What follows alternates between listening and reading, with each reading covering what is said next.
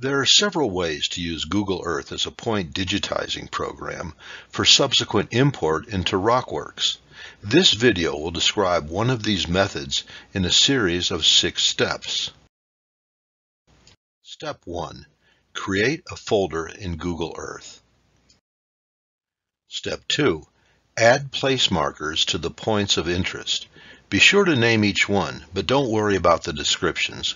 We can add those later on in RockWorks.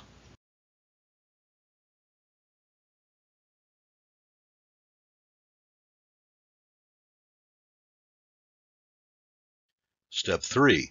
Copy the folder that you created to the Windows clipboard. Step 4.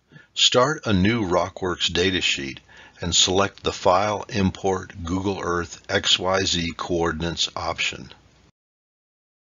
In step 5, we'll use this program to import the clipboard data, but it can also be used to import KML and KMZ files. This program can also convert the Google Earth coordinates from longitude-latitude to local, state plane, UTM, or custom coordinates. Step 6.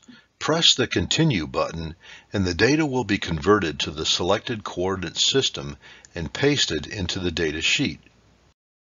At this point, you're ready to plot the data or transfer it to the borehole database.